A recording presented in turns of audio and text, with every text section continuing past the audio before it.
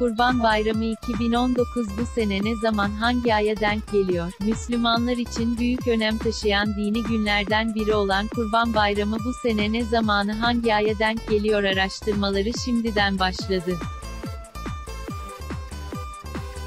Diyanet 2019 dini günler takvimine göre bu sene Kurban Bayramı 11 Ağustos Pazar günü başlıyor 15 Ağustos Perşembe günü bitiyor. Peki Kurban Bayramı tatili 9 gün tatil olur mu? Kurban Bayramı bu sene ne zaman? 2019'da Kurban Bayramı ne zaman başlıyor soruları merak konusu oldu. Müslümanlar için önemli günlerden olan Kurban Bayramı bu sene 11 Ağustos Pazar günü başlayacak. 4 gün sürecek olan Kurban Bayramı ise 15 Ağustos Perşembe günü sona erecek. Peki Kurban Bayramı tatili 9 gün olur mu? Çalışanlar şimdiden bu sorunun cevabını araştırıyor. İşte Kurban Bayramı önemi ve kurban kesmenin sözlükte, yaklaşmak, Allah'a yakınlık sağlamaya vesile olan şey, anlamına gelen kurban, dini bir terim olarak, ibadet maksadıyla belirli bir vakitte belirli şartları taşıyan hayvanı usulünce boğazlamak, ya da bu şekilde boğazlanan hayvan, demektir.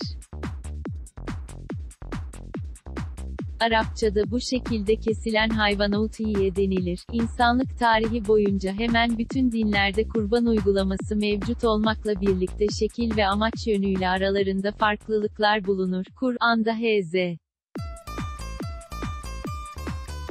Adem'in iki oğlunun Allah'a kurban takdim ettiklerinden söz edilir. El-Maid 5 bölü 27. Bir başka ayette de ilahi dinlerin hepsinde kurban hükmünün konulduğuna işaret edilir. El-Haç 22 bölü 34. Ancak Yahudilik ve Hristiyanlıkta kurban telakkisi bir hayli değişikliğe uğramıştır. Hristiyanlıkta İsa'nın çarmıha gerildiği ve bunun insanoğlunun asli günahına karşı babanın oğlu İsa'yı feda etmesi olduğu inanışıyla kurban telakkisi özel bir anlam kazanmıştır. İnsanlık tarihi boyunca hemen bütün dinlerde kurban uygulaması mevcut olmakla birlikte şekil ve amaç yönüyle aralarında farklılıklar bulunur. Kur'an'da Hz. Adem'in iki oğlunun Allah'a kurban takdim ettiklerinden söz edilir. El-Maid 5 bölü 27. Bir başka ayette de ilahi dinlerin hepsinde kurban hükmünün konulduğuna işaret edilir. El-Haç 22 bölü 34. Ancak Yahudilik ve Hristiyanlıkta kurban telakkisi bir hayli değişikliğe uğramıştır. Hristiyanlıkta İsa'nın çarmıha gerildiği ve bunun insanoğlunun asli günahına karşı babanın oğlu İsa'yı feda etmesi olduğu inanışıyla kurban telakkisi özel bir anlam kazanmıştır. İslam'da kurbanın dini hükmüyle ilgili olarak Kur'an'da, Hz. Peygamberin sünnetinde önemli açıklamalar yer almış. Bu çerçevede oluşan fıkıh kültüründe de konu hakkında ayrıntılı bilgi ve hükümler derlenmiştir. Kurban eti nasıl veya yumuşak YITILMYALYIDIR, bir eti tartarak, eşit olarak paylaşmak gerekir. Ya, sakatat ve yenilen her şey paylaşılır tartmadan bölüşüp helalleşmek caiz olmaz, faiz olur, 7 kişiden 4'üne etle birlikte birer bacak, 5. etle birlikte derisi, 6. etle birlikte başı verilirse, tartmadan paylaşmak caiz olur. Yedinciye bir şey koymak gerekmez yahut yedi kişi, kurbanlık ineği birine teslim edip, kesmeye, kestirmeye, etini dilediğin gibi sarf etmeye, seni umumi vekil ettik deseler, umumi vekil, bölüştürmeden etin tamamını herhangi birine verebilir veya tartmadan ortaklar arasında göz kararıyla paylaştırabilir. Kurbanın etini eşit olarak tarttıktan sonra, paylaşmak için kura çekmek iyidir. Bir malı, ortaklar arasında taksim etmek için, kura çekmek caiz ve sünnettir. 3 kurban eti tartılmadan paylaşılıp, biri diğerine, mendil, defter, kalem gibi bir şey verse, paylaşma sahih olur. 4 taksim etmeden etin bir kısmını pişirip, ortakların müşterek yemeleri caizdir. 5 mutfakları bir olan baba oğlun, karı kocanın ortak olarak kestikleri kurbanı, tartıp paylaşmaları gerekir, yahut birinci. Maddedeki gibi, biri umumi vekil olursa, tartmaya gerek kalmaz. 6. Müslüman bir kimsenin kesip, gayrimüslimin yüzdüğü kurbanın etini yemek caizdir.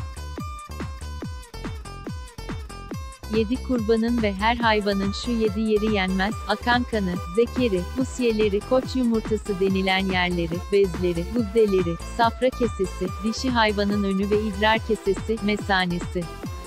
8 ölümü, diri mi olduğu bilinmeyen hayvan, kesilince kan çıkar ve hareket ederse, eti yenir, 9 kurban etini, kesen de yiyebilir, fakir zengin herkese de verebilir.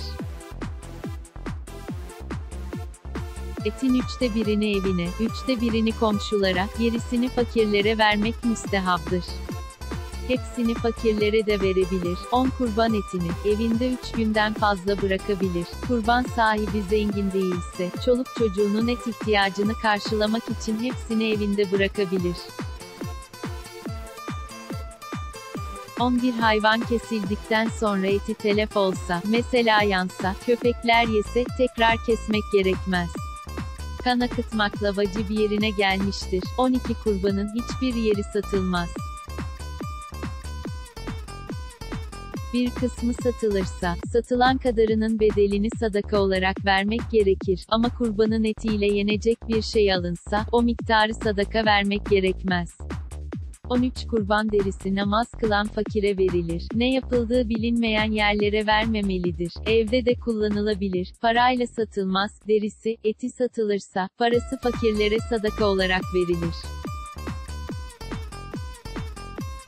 Yahut devamlı kullanılacak bir şey karşılığı da satılabilir. 14 ortaklardan biri kurban kesmeden ölse, hissesi mirasçılarına verilir. 15 karnı yarılıp, yavrusu çıkarıldıktan sonra, o yara sebebiyle ölürken kesilen koyun yenmez. 16 canlı hayvanın her parçası haramdır. Kesildikten sonra, kendine zarar vermeyen kimsenin pişirmeden yemesi caizdir. Mesela çiğ köfte, sucuk ve pastırma yemekte mahsur yoktur. 17 makam sahibine saygı için kesilen hayvan leş olur. Sırf ona saygı için hayvan kesmek caiz değildir. Eğer falanca zat gelirse, Allah için bir hayvan keseceğim, derse o zat gelince kesilir. O hayvan adak olduğu için, etinden kesen ve zenginler yiyemez, fakirlere verir, yolcuya, misafire veya bir makam sahibine, saygı için değil, yedirmek için hayvan kesmek caizdir.